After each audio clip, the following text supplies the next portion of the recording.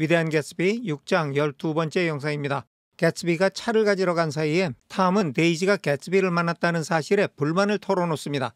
그러다가 세 사람은 집에 가야 되겠다고 개츠비를 기다리지도 않고 떠났어요. 뒤늦게 허겁지겁 뛰어나온 개츠비는 닥쳤던 개신세가 됐죠. 이렇게 해서 개츠비네 집에서 일어났던 짤막한 소동은 끝이 났습니다.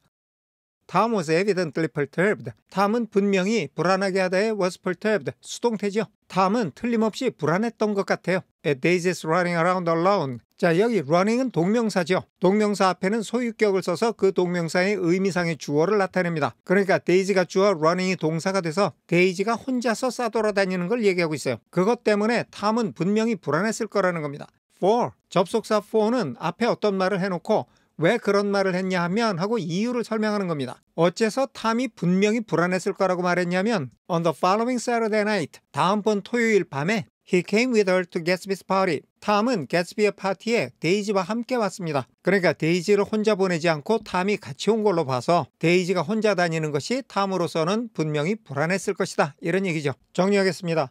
다음 토요일 밤에 개츠비의 파티에 탐이 데이지와 함께 온 것을 보면 탐은 데이지가 혼자서 돌아다니는 것이 불안했던 게 틀림없었습니다. 넘어가겠습니다. Perhaps his presence gave the evening its peculiar quality of oppressiveness. 아마도 탐이 거기 참석했다는 것이 the evening 그 저녁에게 its peculiar quality of oppressiveness를 준 것 같아요. its는 그날 저녁을 가리키고 있어요. 그리고 of는 동격의 전치사예요. its peculiar quality하고 oppressiveness가 같다는 거죠. 숨 막힐 듯한 압박감이라는 기이한 특성을 그날 저녁에게 줬을지도 모른다는 거예요. 뭐가? 탐이 참석한 것이. 이 말은 탐이 그날 저녁에 참석을 했기 때문에 이상하게도 숨 막힐 듯한 압박감이 느껴졌다는 건데 확실히 그렇다는 건 아니지만 어쩌면 그랬을지도 모른다.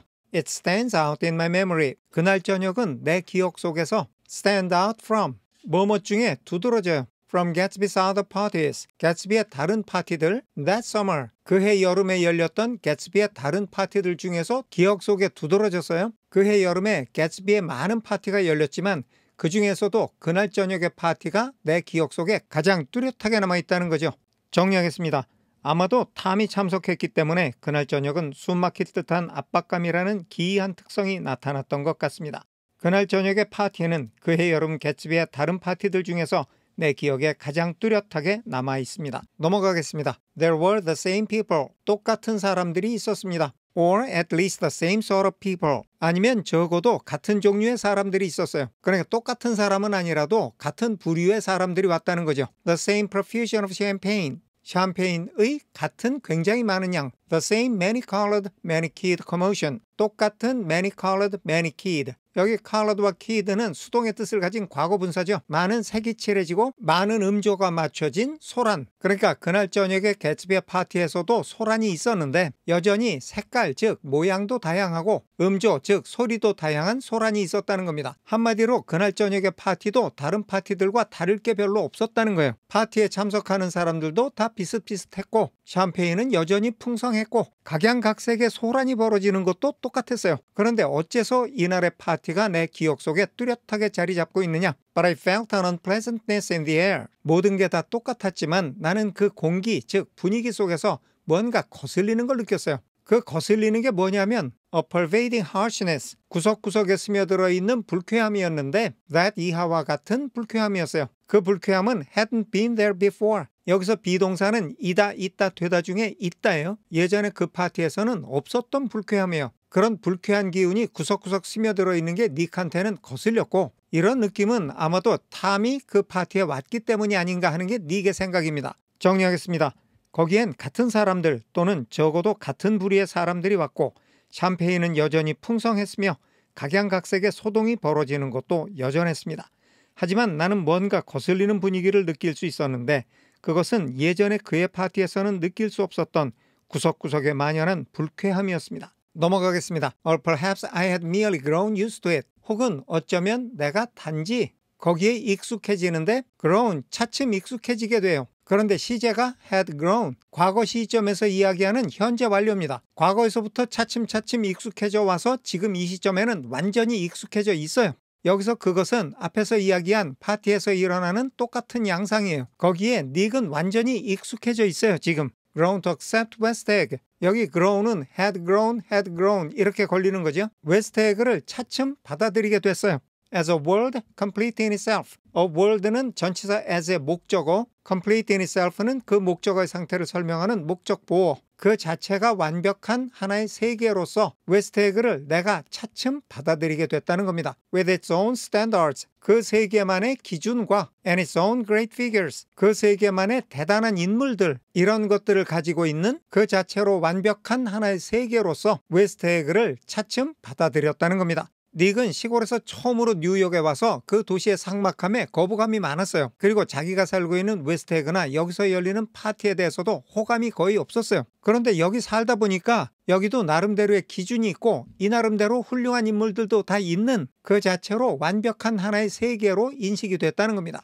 Second to nothing. 아무거에도 둘째가 아니에요. 우리말에 둘째가라면 서러워할 정도란 말이 있죠. 이 말도 최고란 뜻인데 역시 world의 상태를 설명하는 목적보어입니다. 웨스트에그를 최고의 세계로 받아들였다는 거죠. Because it had no consciousness of being so. 왜 최고냐면 이 웨스트에그는 자기가 최고라는 것에 대한 의식이 없기 때문이에요. 한마디로 말해서 우월의식이나 교만함 같은 것이 없다는 거죠. 그래서 이 동네를 진짜 최고로 인정을 했다는 겁니다. 자 이렇게 웨스트에그라는 동네를 완전히 인정을 하고 있는 이때에 And now I was looking at it again. 지금은 내가 웨스트에그를 다시 바라보고 있어요. Through Daisy's eyes. 그동안에 익숙하게 바라보던 내 눈이 아닌 데이지의 눈을 통해서 정리하겠습니다. 또는 어쩌면 나는 그런 분위기에 단지 차츰 익숙해져 있었는지도 모르겠고 그 나름대로의 기준과 그 나름의 훌륭한 인물들을 갖추고 있으며 최고임에도 자신이 최고라는 의식을 하지 않아 최고인 그 자체로 완벽한 하나의 세계로서 웨스트에그를 차츰 받아들이고 있었는지도 모르겠습니다.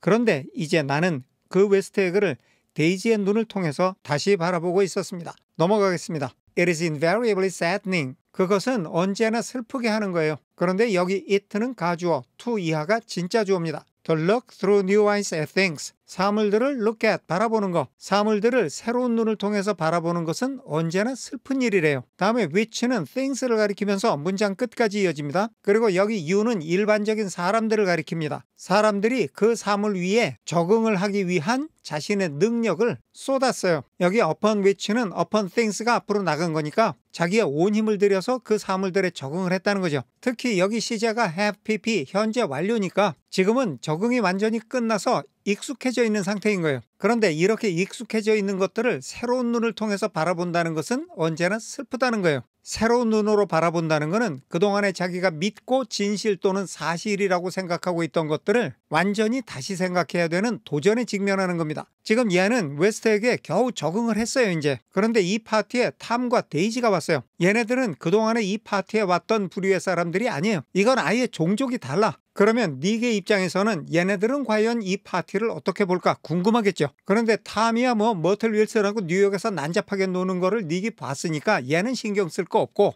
데이지는 과연 이 파티를 어떻게 볼까 궁금해져서 자기도 데이지의 시각에서 이 파티를 다시 바라봤다는 겁니다. 근데 왜 이런 거 있잖아요. 내가 조그만 식당을 자부심을 가지고 경영을 하고 있었는데 어느 날 갑자기 나하고 급이 다른 전문가가 식당에 들이닥친 거예요. 예를 들면 백종원 같은 전문가가 와서 식당을 이리저리 훑어보면 혹시 그동안에 내가 당연하게 여겼던 것들이 잘못된 것은 아닐까? 이런 생각에 긴장이 되겠죠. 그러면 나도 그 전문가의 눈으로 내 식당을 한번 둘러봐야 되는데 그런 일은 언제나 슬프고 고통스러운 일이라는 겁니다. 정리하겠습니다. 사람이 모든 노력을 기울여 적응하여 이미 익숙해져 있는 사물들을 새로운 눈으로 바라본다는 것은 언제나 슬픈 일입니다. 오늘은 여기까지 하겠습니다. 끝까지 시청해 주셔서 감사합니다.